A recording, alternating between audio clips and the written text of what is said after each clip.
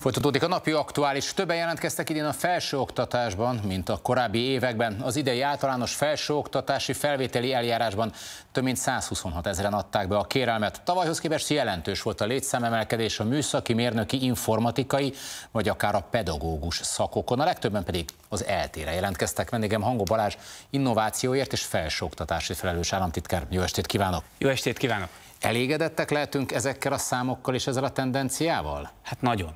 Tehát, hogy azt mondhatjuk, hogy az elmúlt tíz év legsikeresebb felvételeihez 94.785 diákot vettünk fel a megújult magyar felsőoktatásba, és hát a megújult magyar felsőoktatás lényege az, hogy az elmúlt években úgy alakítottuk át az egyetemeket, hogy kapcsoljuk össze a gazdaság térség szereplőivel, az egyetemek részéről igény volt, hogy egy rugalmasabb felvételi legyen, nagyobb egyetemi autonómiával. Mottonk az volt, hogy ahol a lehetőség legyen, ott a felelősség, és úgy néz ki, bejött, hiszen többen jelentkeztek de nem csak többen jelentkeztek, hanem a képzési szerkezetben, Magyarország földrajzi elhelyezkedésében is olyan felvételi eredmények vannak, ami a magyar gazdaság érdekeit szolgálja. Ezt pontosabban kifejtené, hogy ez mit jelent mondjuk terület, vagy, vagy akár szak specifikusan? Örömmel.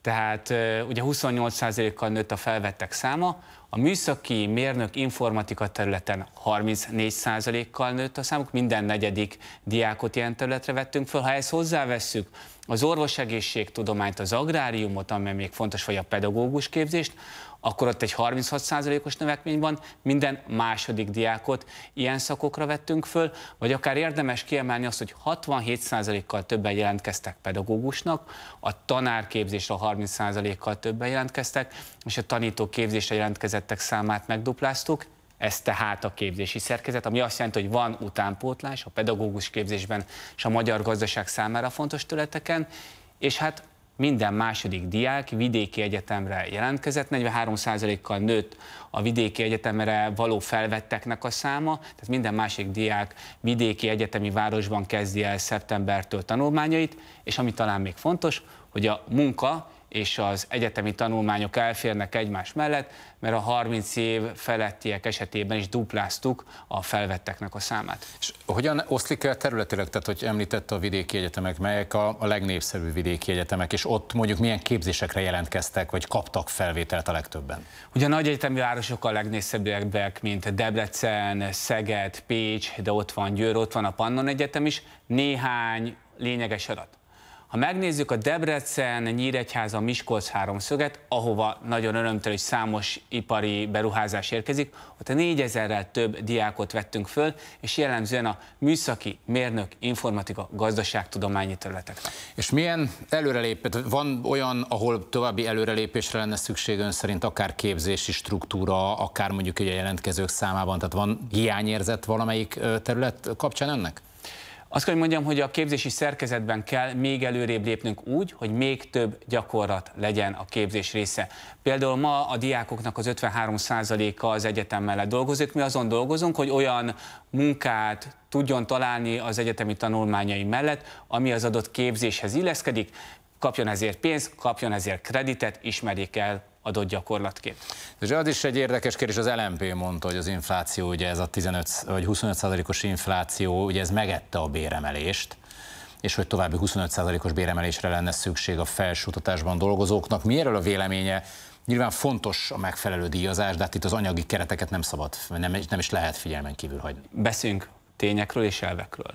Az elmúlt két évben kétszer 15 százalékos béremelés valósult meg a felsőoktatásban, ez 64 milliárd forintot jelentett, de a felsőoktatás új teljesítmény alapú finanszírozásának a lényege, hogy ha az adott intézményben a hallgatói előremenettel, a kutatási aktivitás esetében bizonyos eredményeket elérnek az intézmények, idén már 40%-a a finanszírozásnak ilyen teljesítmény alapon történik, ami azt jelenti, hogy mivel autonómia van, ezekkel a bevételekkel az intézmény maga gazdálkodik, és azt látjuk, hogy olyan teljesítmény finanszírozást vezettek be a felsőoktatásban dolgozók esetében is, amely ezeket az eredményeket, azaz a hallgatók, a diákoknak az érdekeit és a magyar tudomány fejlődésének az érdekeit. És itt, itt hol van előrelépési lehetőség, vagy hol van szükség még további finom hangolásra, hiszen Nyilván a béremelés egy olyan kérdés, ami, amire azt mondja mondjuk a munkavállaló, hogy nyilván soha nem elég, vagy még többet szeretne. De az egyetemi autonómia és az egyetemi pénzügyek viszont megkövetelik azt, hogy nagyon szigorúan betartsák ugye a pénzügyi előírásokat, és ne a költségvetést ne, ne tágítsák. Pont a modellváltásnak a lényeg az, hogy egy versenyképesebb, rugalmasabb struktúra van. Ha az adott egyetem eléri azokat a célokat kutatásban, oktatásban, diákok előremeneteleiben, amit az állam megrendelt tőle, ez a közfeladatot ellátó közérdekű vagyonkezelő alapítványi struktúra, akkor innentől az intézmény maga dönt, hogy ezt hogyan allokálja, hogyan ösztönzi az oktatóit, hogyan ösztönzi a kutatóit, hogyan ösztönzi a munkatársait.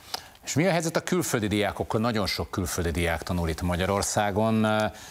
Érdekes kérdés, hogy aki mondjuk itt befejezte a tanulmányait, dolgozik, az mennyire marad itt, mennyire megy haza, mennyire próbálják arra ösztönözni őket, hogy ne hagyják el az országot, hanem maradjanak itt esetleg, és éljenek, dolgozzanak itt? Itt egy paradigmaváltásra van szükség, hiszen azért jó a felvételi, mert azt látjuk, hogy 30 ezerrel több diákot hozunk be, tehát van utánpótlása a magyar gazdaságnak, de úgy látjuk, hogy a magyar gazdaságnak még több diplomás munkaerőre van szüksége, tehát a paradigmaváltás lényeg az, hogy az a 42 ezer külföldi hallgató, aki itt van ma Magyarországon, minél nagyobb arányban vállalja munkát Magyarországon, minél nagyobb arányban maradjon itt, alapítson családot. Igen, de ezek a nagy pont ezek a, akár a keleti beruházások, akár a nyugatról jövő beruházások pontosan azt erősítik, mondjuk a keleti ország részre gondolok, hogy a nagy, nagy egyetemi városok ugyanígy egy, egyfajta tudásközpontot tudnak kiépíteni, amelyek együttműködnek az ottani beruházókkal, és ki tudnak alakítani egy olyan vállalkozói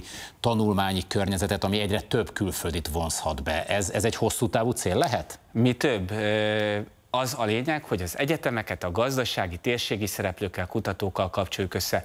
Nagy autóipari beruházó cég vezetőjével történt múlt heti tárgyalás alapján örömteli, hogy már együtt fejleszt az egyetem és az autóipari beruházók közös oktatási, kutatási tereket fejlesztnek. Ezeket hívjuk science parkoknak, tudományos és innovációs parkoknak, amely esetében az egyetem kutatása, az egyetem oktatása ezen gazdasági jövőt formáló kreatív szempontok alapján alakul. Ankó Balázs, köszönöm szépen a beszélgetést. Köszönöm szépen.